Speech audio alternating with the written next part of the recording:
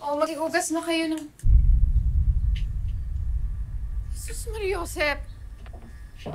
Anong nangyari sa inyo? Bakit ganyan ang mga itsura nyo? Huwag kayong magsisinungaling. Bakit nga ganyan ang mga itsura nyo? Pilipina! Ilabas mo yung mga anak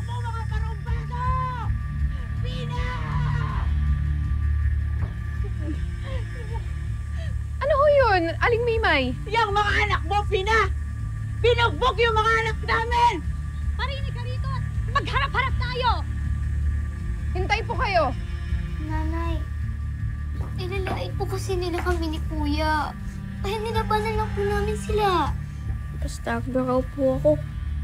Tapos si Ate Lina po. Anak raw po ako ng Kirida, Nanay. Totoo po ba, Nanay?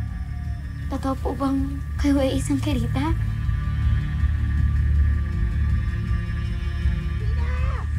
Pilipina! Lumabas ka sabi rito eh! Lumabas ka! Pina! Nanay, totoo po ba sinasabi nila? Kayo nga ba yung sala mong Kirida?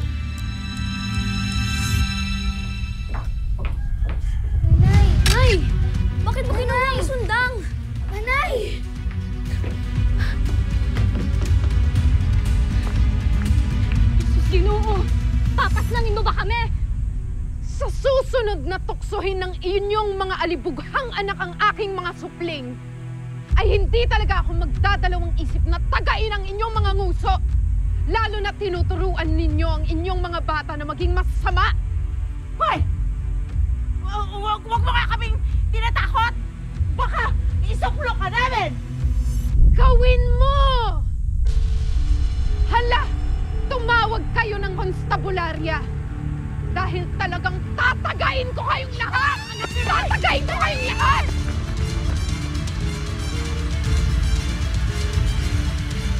Bumalik kayo dito! Ay!